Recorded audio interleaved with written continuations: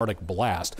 This week in climate change, check out more on my website. Climate refugee numbers are increasing according to the United Nations Office for Disaster Risk Reduction, thanks in part again to sea level change and a lot of other problems. Azerbaijan, the country, planting 650,000 trees to celebrate a poet, but not everyone is impressed by that. And more information from the United Nations Climate Conference in Madrid. Parents plea to climate negotiators be real heroes for Earth's children. More on that Follow me on the social media networks, and we'll update you on climate change and a lot more science here on News Channel 3.